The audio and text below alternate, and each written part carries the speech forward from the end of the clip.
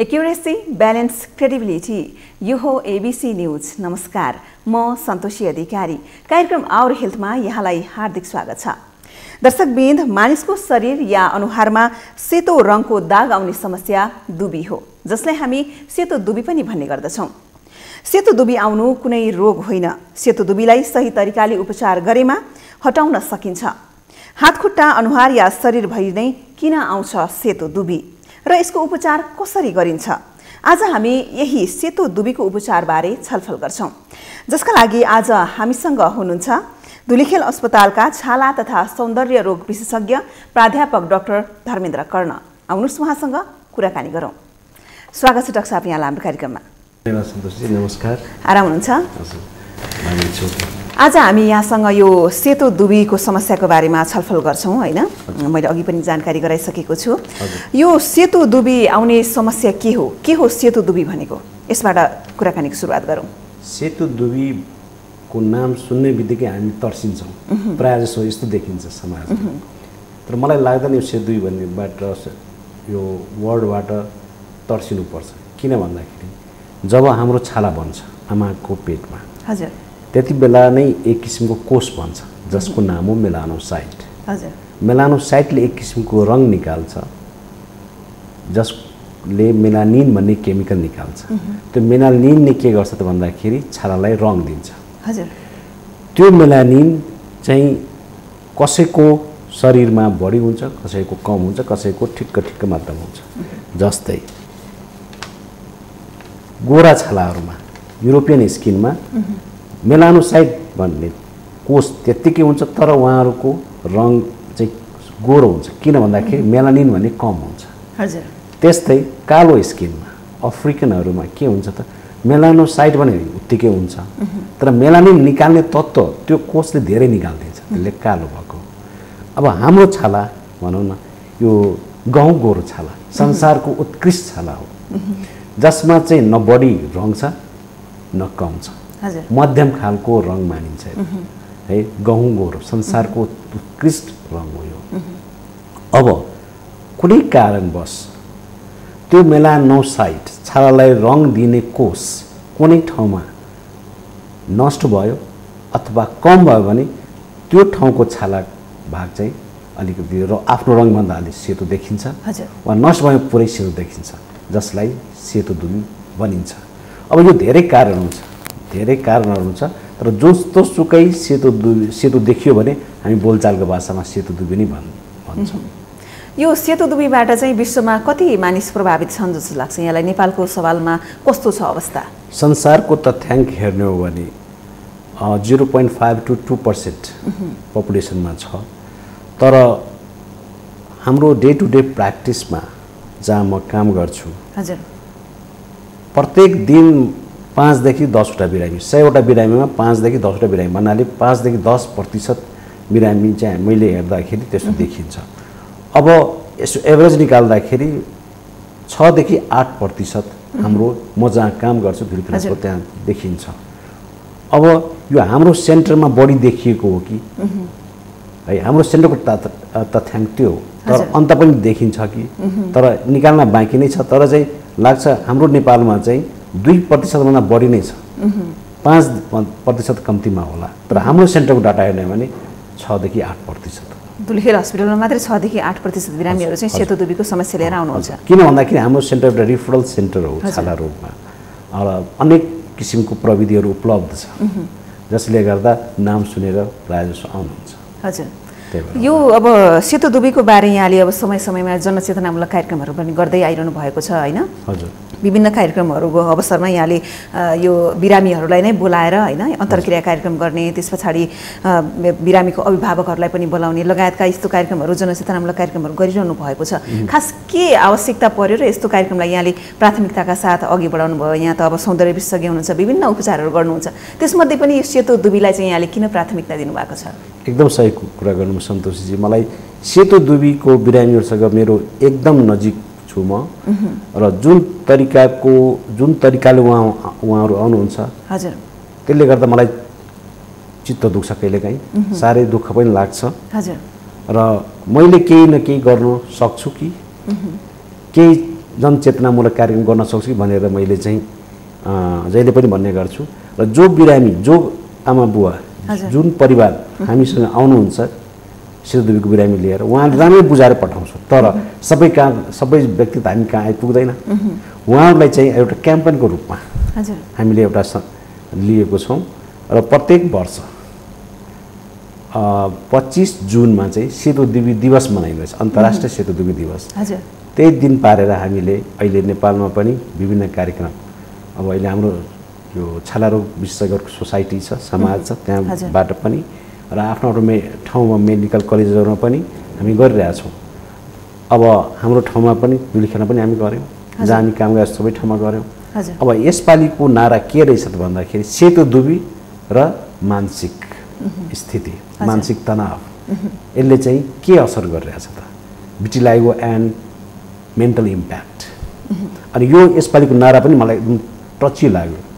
एकदम राम्रो भएको हुनाले। मैले एउटा जनजागरण कार्यक्रम चाहिँ मा लागेको छु। अब यहाँले नारा नै भन्नुभयो सेतो दुबी र मानसिक तनाव। यो एक आपसमा एकदम अन्तर सम्बन्धित रहेछ होइन? अब धेरैलाई थाहा नहुन सक्छ। यो सौन्दर्यलाई मात्रै यसले असर नगरी होइन सेतो दुबी आउँदा मानसिक रूपमा पनि मान्छेलाई विक्षिप्त बनाउने रहेछ। यस्ता कस्ता बिरामीहरू यहाँको अस्पतालमा आइपुग्नुहुन्छ? कस्तो कस्तो समस्या लिएर मानसिक समस्या लिएर आएको पाउनु भएको छ? मैले यो सुरु गर्नुभन्दा अगाडि पहिला त यो भन्न चाहन्छु कि शीत दुबी आउने व्यक्तिहरूले उहाँलाई उहाँहरूले यो यसमै कुनै टेन्सन लिने चिन्ता लिने कुनै कारणै देख्दिनँ। किन शीत दुबी त रोगै होइन रोग कसलाई भन्छु हामी जहाँ दुख्छ पोल्छ वा केही काम गर्न गाह्रो छ भने त्यो। जुन ठाउँमा जुन काल कलर थियो रङ थियो सर्टेन ठाउँमा चाहिँ डिस्कलर भइदियो। त्यहाँको कलर चाहिँ नष्ट भयो। त्यसले गर्दा चाहिँ हामीले त्यसै पिरे गर्नु पर्दैन। यदि कुनै यो सेतो दुबीले आफ्नो ज्यान आफ्नो डेली एक्टिभिटिजमा र भित्रको कुनै सिस्टमलाई असर गर्नुभयो त ठिक स्वाभाविक थियो। तर त्यस्तो केही पनि छैन। त्यसलाई रोग भन्न मिल्दैन। मिल्दैन। तर यो गएको दिनहरूमा पुरानो विचारहरू हजुर। समुदायमा विचार परिवारमा अनेक किसिमको विचारहरू उम्रिरहेछ आजभोलि। पहिलादेखि नै भनौँ न यो सर्वा रोग हो। उम्, सरुवा रोग भनेर पनि हल्ला हजुर। पहिला हो। है सर्वा रोग हो यो। यो भगवान्ले श्राप दिएर भएको हो। है यो चाहिँ उसले छुनु हुँदैन। जस्तै धेरै दुःखद घटनाहरू लिएर आउनुहुन्छ सेतो बिरामीहरू। जस्तै बुढी आमालाई सेतो दुबी भयो भने। बुहारीले भन्छ आफ्नो नाति नाति त्यहाँ नजाऊ रे। किन भन्दाखेरि यो सर्वा रोग तिमीलाई सर्छ अरे हुँदाहुँदै नाति नातिनी टाढा बुहारी टाढा छोरा पनि टाढा बिस्तारै बिस्तारै। त्यस्तो पनि धेरै बिरामीहरू मैले फेला पारेको छु। त्यति मात्र होइन। वाइफ हस्बेन्डको रिलेसनसिप हजुर। श्रीमान श्रीमतीको सम्बन्धमा पनि कटुता आएको देख मैले सुनेको छु पनि मैले प्र्याक्टिसमा पनि भेटेको छु है। किन भन्दा यो सर्वरोग भनेर हजुर। है। अब डिभोर्ससम्म पनि गएको छ। सम्बन्ध विच्छेद पनि भएको घटनाहरू मैले देखेको छु। यसरी दुबीको कारण। जति बुझाउँदाखेरि हाम्रो जुन कन्ट्याक्टमा छ उहाँलाई त हामी बुझाउँछौँ तर जो आउनु भएको छैन उहाँलाई क्याम्पेन गरेर यसो जनचेतनामूलक गर्नुभयो भने यो सर्वरोग होइन। है यो कुनै किसिमको कीटाणुले गर्दा होइन यो। है यो बुझ्नु पर्यो। यो उपचार भयो भने सहजै उपचार। बेलेमा होइन बेलेमा उपचार गर्नुभयो भने निको हुन्छ निको हुने व्यथा हो। एक त उपचारै चाहिँदैन है किन भन्दाखेरि यो डिस्कलर मात्रै हो। रङमा परिवर्तन भएको मात्रै हो। यदि तपाईँलाई उपचार छ भने उपचार त छ नि। उपचार गराउनुहोस् निको भइहाल्छ नि। आजभन्दा बिस वर्ष तिस वर्ष अगाडि उपचार थिएन। धेरै कुराको थिएन। जस्तै टिबीको त थिएन। होइन क्यान्सरको थिएन। अहिले त टिबीको उपचार क्योरै हुन्छ? क्यान्सरको उपचार पनि हुन्छ। है भने सेदुको उपचार त अहिले यति धे थरी थरीका छ कि रोज्नुपर्ने अवस्था छ। उमेरको अनुसार अवस्था अनुसार आर्थिक अवस्था अनुसार है तपाईँ कहाँ काम गर्दै हुनुहुन्छ? त्यहाँ सुविधा छ कि छैन? त्यो सुविधामूलक उपचार पनि छ। र घरमा बसी बसी गरी गर्ने उपचार पनि छ। त्यही भएर सिलिदुरीको उपचार थरी थरीको छ अहिले त। त्यही भएर त्यसमा चाहिँ चिन्ता र पिर गर्नुपर्ने आवश्यकता नै छैन। यो दुबी चाहिँ कति प्रकारको हुन्छ डाक्टर साहब? कस्तो कस्तो प्रकारको हुन्छ यो चाहिँ? अब सेतो दुबी भनेको एउटा फैलिने खालको हजुर। एउटा नफैलिने खालको सेगमेन्टल र नन सेगमेन्टल भन्छौँ। सेगमेन्टल भनेको जस्तै शरीरको एउटा अङ्ग मात्रै हुन्छ। जस्तै एउटा गालामा छ भने एउटा गालामा मात्रै हुन्छ। एकातिर गालामा मात्रै फैलिन्छ अर्को गलामा देखिँदैन।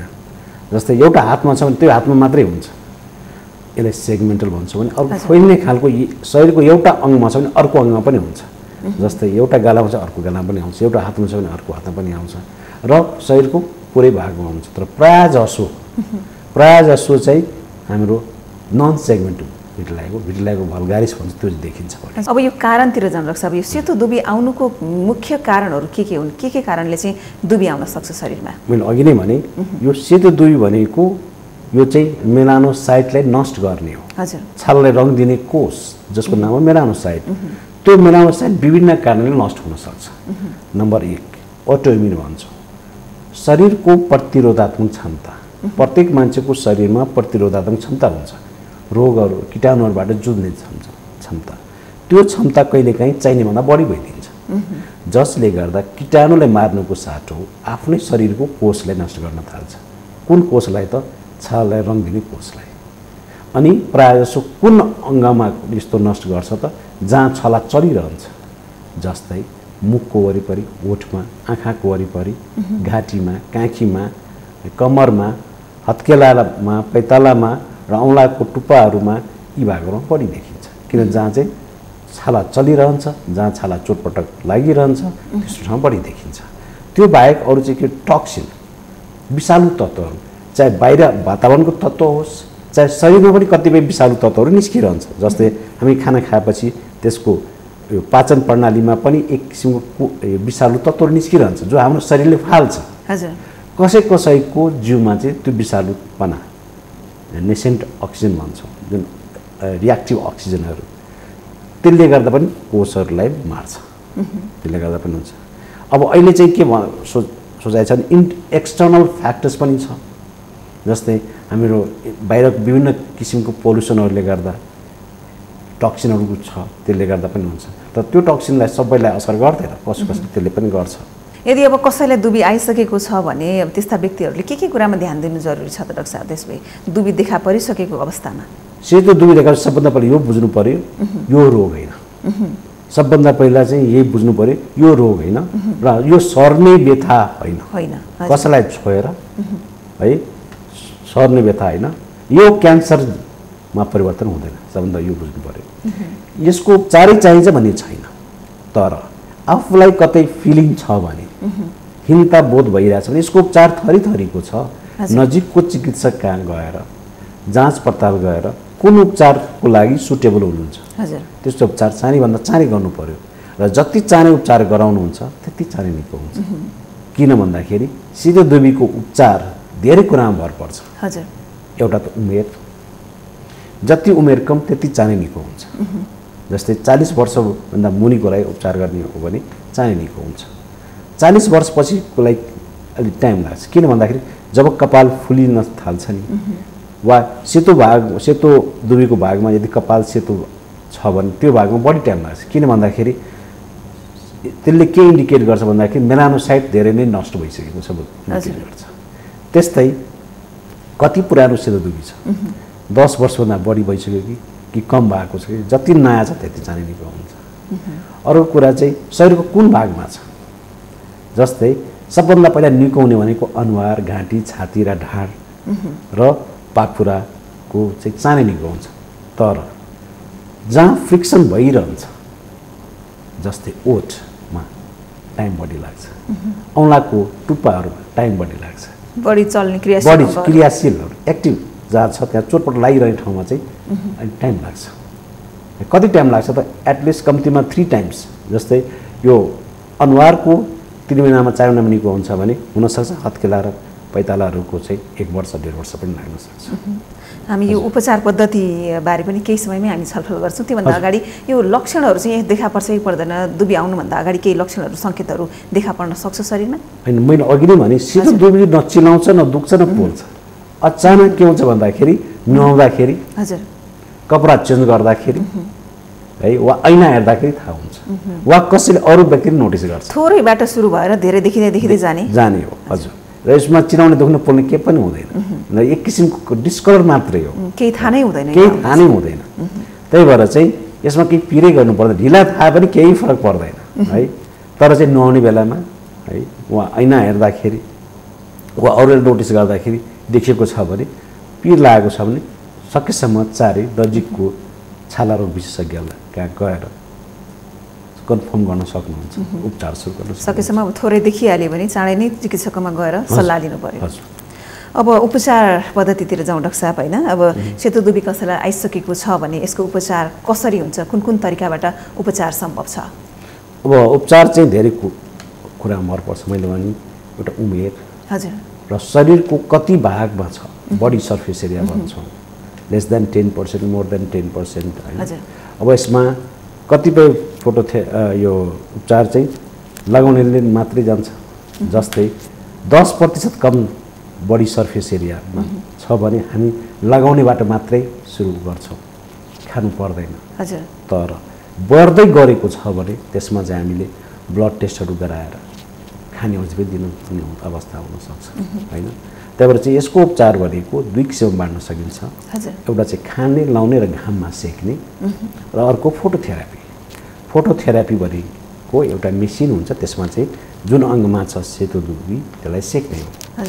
यो दुइटै पद्धतिको काम के हो त? मैले अघि नै भने यसको कारण के हो? अटो इम्युन डिसअर्डर यो अटो इम्युनलाई शरीरको प्रतिरोधात्मक क्षमतालाई नियन्त्रण गरेर राख्ने सन्तुलन गर्ने। हजुर। सन्तुलन गरिसकेपछि जुन शरीरको मेकानिजम आफै नर्मल हुन्छ अनि सेतो दुबी राम्रो हुन्छ। र यिनै औषधिले गर्दा के हुन्छ गर्छ त भन्दाखेरि सेतो दुबीमा सङ्ख्यामा पनि वृद्धि गर्छ। सरी मेलानोसाइटको सङ्ख्यामा पनि वृद्धि गर्छ र र मेलानोसाइटले रङ बनाउने सिस्टम छ त्यसलाई पनि एक्टिभेट गरिदिन्छ जसले गर्दा सेतो दुबी निको हुन्छ। त्यस्तै फोटोथेरापी चाहिँ के हो त भन्दाखेरि न्यारोम्यान युबी भन्छौँ। जुन चाहिँ यसमा चाहिँ के हुन्छ भन्दाखेरि घाममा सेक्नु पर्दैन। यो चाहिँ मेसिन हुन्छ। हजुर। यो टेलिफोनको बुथ जस्तै आर्टिफिसियल लाइट हो। र यो सर्टेन एउटा वेभलेन्थ हुन्छ। त्यो वेभलेन्थले चाहिँ ठ्याक्कै त्यो वेभलेन्थमा राखिएको एडजस्ट गरिएको हुन्छ जसले चाहिँ मेलानोसाइटलाई उत्तेजित गर्छ। हजुर। वृद्धिमा पनि सङ्ख्यामा पनि र यसले मेलानिन उत्पादन गर्न पनि बढाइदिन्छ। कति समय गर्नुपर्छ डाक्टर साहब फोटोथेरापी चाहिँ? अब फोटोथेरापी निको हुनको लागि।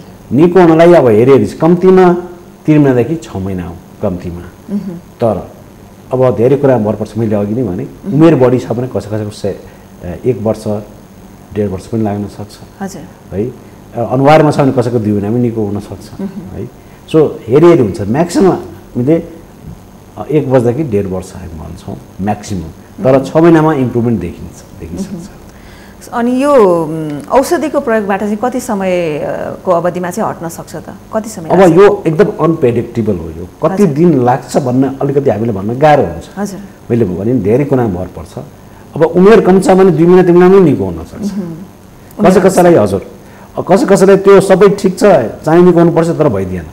कहिलेकाहीँ कस्तो हुन्छ भने हामीले भनेको कुरा औषधि खाने र घाममा बस्ने त्यो। इन्स्ट्रक्सन नै फलो गरिदिनु औषधि इरेगुलर हुन्छ। है? किन मान्छे मैले भेट्दाखेरि सेवदुबीको बिरामीहरू एकदम रिलक्टेन्ट हुन्छ कि? हजुर। समयमा औषधि नखाने समयमा चाहिँ घाममा नबस्दिने समयमा उपचारमा नगाउने किन भन्दाखेरि न दुख्छ न हजुर। होइन? फुर्सदै भएन साहब भनेपछि हामी त्यसरी बुझाउँछौँ यसमा चाहिँ अलिकति डिसिप्लिन चाहिन्छ। हजुर। हामीले जे भन्छौँ त्यो फलो गर्नुभयो भने एटलिस्ट कम्तीमा छ महिनामा निको हुन्छ। है त्योभन्दा बढी एक वर्ष डेढ वर्ष। धेरैजनाको यो हातमा पनि धेरै दुबी आएको देखेको छु मैले होइन? त्यसरी कपाल फुल्ने यहाँले पनि भन्नुभयो। यो हातमा आएको दुबी चाँडो निको हुन्छ अथवा कपाल फुल्ने यस्तो समस्याहरू चाँडो निको हुन्छ? कसरी भन्न सकिन्छ यसलाई? मैले चाँडो कहाँ कहाँको शरीरको कुन कुन भागको चाहिँ दुबी चाहिँ चाँडो निको हुन सक्छ सबभन्दा बढी चाहिँ central part of the body भनेको अनुहार छाती ढाड र पाखुरा। हजुर। को चानी निको हुन्छ पेटको पनि निको हुन्छ तर हातको पनि निको हुन्छ तर चाहिँ यो रिस्टभन्दा तल। बढी चल्ने हत्केला- क्रियाशील हत्- हामीले कुरा गऱ्यौँ। जहाँ जहाँ- एक्टिभिटिज बढी भइरहन्छ जस्तै यहाँ हत्केला तर हत्केलाको चाहिँ टाइम लाग्छ। किन भन्दाखेरि हामी डे टु डे एक्टिभिटिजमा यसले रेस्ट नै दिँदैनौँ। है जति हामीले बिहानदेखि लिएर बेलुकासम्म नसुत्नुसम्म हामी चलाइरहन्छौँ। यो पार्टलाई यो हिलिङ प्रोसेस हो। कुनै पनि हिलिङ प्रोसेसलाई हामी टाइम दिनुपर्छ। है? त्यही भएर हामी रेस्टै दिनु सकेको हुँदैन। त्यही भएर। टाइम बढी लाग्छ। त्यस्तै खुट्टामा है? एङ्कल जोइन्टभन्दा एङ्कलभन्दा तल पाइतालामा टाइम बढी लाग्छ। अरू ठाउँको त जाने यो शल्यक्रियाबाट पनि उपचार हुन्छ डाक्टर साहब? हजुर शल्यक्रिया यदि मेडिकल ट्रिटमेन्ट भएन हजुर। मेडिकल ट्रिटमेन्ट भएन भने हामी शल्य चिकित्सा शल्यक्रियाबाट पनि यसको उपचार हुन्छ। अब बिटलाएको सर्जरी भन्छौँ त्यसको आफ्नै क्राइटेरियाहरू छ कति बेला शल्यक्रिया गर्नुपर्ने अवस्थाहरू हुनसक्छ? Number. One once the medical treatment fails भन्नाले हामी जब यो खाने औषधि लगाउने औषधि सेक्ने प्रविधिबाट भएन भने त्यो एउटा। अर्को कुरा चाहिँ नबढेको सिरदुबी नबढेको नफैलिएको कम्तीमा एक वर्ष हुनु पर्यो यो दुईवटा क्राइटेरिया फैलिने खालको सेतो दुबीको चाहिँ शल्यक्रिया हुँदैन। गर्नु हुँदैन। झन् फैलिन्छ। किन भन्दाखेरि त्यसमा चाहिँ जुन प्रोसेस छ नि हजुर। सेरोदुबी ल्याउने जुन मेकानिजम त्यो झन् एक्टिभ भइरहेको हुन्छ। त्यस्तो अवस्थामा गर्नु हुँदैन। त्यही भएर चाहिँ हामी त्यो यदि क्राइ क्राइटेरिया मिट भइरहेछ भने हामी भिटलाएको सर्जरीमा जान्छौँ। र अहिले भिटलाएको सर्जरीमा पनि थरी थरीको प्रविधिहरू छ। एउटा चाहिँ थोरै एरियामा सेर सेरोदुबी छ भने त्यो सानो अपरेसन। हजुर। यता पन्च ग्राफ्टिङ छ ब्लिस्टर ग्राफ्टिङ छ अल्ट्राथिन ग्राफ्टिङ छ। त्यस्तै एउटा एउटा एडभान्स टेक्नोलोजी आएको छ। मेलानोसाइट ट्रान्सप्लान्ट जुन चाहिँ गएको आठ वर्षदेखि गरिरहेको छु म। हजुर। जुन अघि नै भने मेलानोसाइट भन्ने तत्त्व नष्ट भएको हुन्छ। त्यो नर्मल छाला जस्तै शरीरको अन्य कुनै भागमा छ भने तिग्राबाट छाला निकालेर त्यसमा भएको नर्मल छालामा भएको कोषहरू मेलानोसाइटले निकालेर झोल बनाएर हामीले अन्त छ जहाँ सेदुबी छ त्यहाँ चाहिँ ट्रान्सप्लान्ट गरिदिन्छौँ। त्यो राम्रो भइरहेको छ। त्यसले त्यसको फाइदाहरू के छ भन्दाखेरि एकैचोटिमा धेरै एरियालाई हामी कभर गर्न सक्छौँ। यहाँले अहिलेसम्म उपचार गरेर कतिजनाको चाहिँ निदान भइसकेको अवस्था छ अहिलेसम्म? कतिजना उपचारबाट रोग निको पारेर जानुभएको छ? केही सङ्ख्यात्मक रूपमा हेर्नु एक्ज्याक्टली त भन्न गाह्रो छ तर हजारौँ होला। हजारौँ होला। हजारौँ होला। पूर्ण रूपमा निको भइसकेको। निको भइसकेको। हजारौँमा होला। मैले एक एक्ज्याक्ट तथ्याङ्क त छैन। हजुर। किन भन्दाखेरि यो फोटोथेरापी नै गर्नलाई आउने बिरामीहरू चाहिँ मेरो पचासदेखि सयजना प्रतिदिन आउने गरेछ। त्यसले गर्दा चाहिँ हजारौँमा होला। अब दुबी आइसकेपछि उपचार कसरी गर्ने भनेर त हामीले छलफल गऱ्यौँ होइन? दुबी आउनुभन्दा अगाडि अथवा आउन नदिन पनि केही बस्ने उपायहरू हामीले प्रयास गर्न सक्छौँ? केही छ यस्तो? त्यस्तो केही पनि छैन। यो कहिले आउँछ नि थाहा हुँदैन होइन? कसरी हुँदैन। कसैलाई थाहा हुँदैन। जस्ट जसलाई आजभोलि यो अटोमिन डिसअर्डरहरू हजुर। यो शरीरको प्रतिरोधात्मक क्षमता सम्बन्धी समस्या हो यो। जस्तै कसलाई था कसैलाई थाइरोइडको समस्या कहिले आउँछ थाहा हुँदैन। त्यस्तै हो यो मेलानोसाइड डायबिटिज कति बेला त हुन्छ थाहा हुँदैन। तर त्यो एउटा डायबिटिजमा के छ भन्दाखेरि खानपिन कन्ट्रोल गरेर पनि हुनसक्छ है हामी त्यो टाढा आ, टाढा चाहिँ धकेल्न सक्छौँ। थाइरोइडमा पनि त्यही केही पनि दुलोलाई पनि हुन्छ मोटोलाई पनि हुन्छ। त्यस्तै यो सेदोदुबी हो। सेदोदुबीलाई हामीले चाहिँ रोकथाम चाहिँ केही छैन। यदि देखियो भने त्यसलाई फैल्नुबाट हामी जोगाउन सक्छौँ। तर यो चाहिँ सुरुकै अवस्थामा रोकथाम गर्न सक्छौँ पनि छैन? तर एउटा कुरा के छ भन्दाखेरि परिवारमा कसैलाई छ भने अलिकति एलर्ट हुनुपर्छ। हजुर। दसदेखि तिस प्रतिशत वंशानुगत हुन्छ। है? दसदेखि तिस प्रतिशत भने यदि परिवारमा छ भने कसैलाई अलिकति नआउने बेलामा ऐना हेर्दाखेरि लुगा लाउने बेलामा हेर्नुपर्ने हुन्छ। अहिले देखिमा पनि पिर गर्नु हुँदैन। उपचार चाहियो भने गर्ने तर केही अब के आवश्यकता नै छैन। दुबी आइसकेपछि खानपान बार्नुपर्छ भन्ने पनि त्यस्तो केही छैन। केही छैन। Normal diet. हजुर। मैले भन्ने गर्छु नर्मल डाइट दिनुहोस्। डाक्टर साहब फलानु डक्टर कहाँ? यो नखानुहोस् त्यो गर्नु त्यो गर्नु। मैले भने कहाँ छ लेख्यो? कतै छ? के हो? मे ऱ्यासनल के हो? मेकानिजम के हो? केही छैन। रक्सी र चुरुट। हजुर। डक्टरले पनि खानु हुँदैन। बिरामीले पनि खानु हुँदैन। बिरामीले पनि खानु हुँदैन। किनभने अक्सिडेटिभ प्रोसेस कुनै पनि टक्सिन विषालु तत्त्वहरूले चाहिँ जुनसुकै रोगलाई सेदोले मात्र जुनसुकै रोगलाई पनि नराम्रो गर्छ। हजुर। तर सेदोबीकै लागि खानामा चाहिँ के बार्नुपर्छ भने नो अहिले मोडर्न साइन्सले त्यस्तो केही पनि भनेको छैन। हजुर। नर्मल डाइट हामी कार्यक्रमको अन्त्यमा पनि आइसकेका छौँ डाक्टर साहब होइन? अन्त्यमा एबिसी न्युज हेरेर बसिरहनु भएका दर्शकहरूलाई के भन्न चाहनुहुन्छ? यो मौका दिनुहोस् सन्तोषजी र धन्यवाद छ होल। टिमलाई तर यसमा जाँदा जाँदै मैले भन्न खोजेको यदि सेतो दुबी आफ्नो परिवारमा छ भने वा साथीभाइले छ भने हाम्रो राम्रो इन्टेन्सन हामीले भनिरहेको हुन्छ सेतो दुबी फलानो ठाउँमा जाउँ भनेर। तर उहाँले सल्लाह दिनुभन्दा अगाडि उपचार गराउनुभन्दा अगाडि पहिला यो बुझ्नुहोस् सेतो दुबी भने के हो? यसले चाहिँ केही केही समस्या गरेछ त छैन। त्यही भएर त्यही भएर चाहिँ यदि सेतो दुबी छ भने उहाँलाई एक्लै बोलाएर यदि सल्लाह नै दिनु छ भने एक्लै बोलाएर त्यहाँ उपचार हुन्छ। तर उपचार नगर्दा केही फरक पर्दैन। यदि घरमा तपाईँको बच्चालाई छ भने कुनै बच्चालाई छ भने आमाबाले म के सल्लाह दिन सक्छु? भने डक्टर कहाँ जाँदाखेरि मैले धेरै परिवार यस्तो पाएको छु बच्चाले सोद्धा डक्टर के भयो बाबु? बच्चाले केही भन्दैन तर आमा रोइदिन्छ। मेरो बच्चालाई सेतो दुई भयो डाक्टर साहब। रोइदिनु। जसले गर्दा चाहिँ त्यो बच्चाको मानसिक स्थिति। मानसिक सो यो मेन्टल इम्प्याक्ट के होला त? पछि पछि चाहिँ बाहिर साथीहरूसँग जाँदाखेरि उसले त्यही सोचिरहन्छ। क्लासमा त्यही हुन्छ। अनि पछि गएर हिंता बोध हुन्छ इन्फेटिक कम्प्लेक्स हुनसक्छ। त्यही भएर चाहिँ यदि तपाईँको घरमा कसैलाई चाहिँ सिरोदुबी छ भने यसलाई चाहिँ कुनै किसिमको रोग नठान्नुहोस्। सरुवा रोग होइन क्यान्सर हुँदैन। उपचार नगर्दा केही फरक पर्दैन। यदि उपचार चाहिएको छ भने थरी थरीको उपचार छ। तपाईँको अवस्था अनुसारको उपचार छ। रोज्नुपर्ने अवस्था छ यो यो सिरोदुबीको उपचार कसरी उपचार गर्ने। भने नजिकको छाला विषयले भेट्नुहोस्। निको हुन्छ। हस् कुराकानीको लागि यहाँलाई धेरै धेरै धन्यवाद। हस् thank you thank you Santoshji.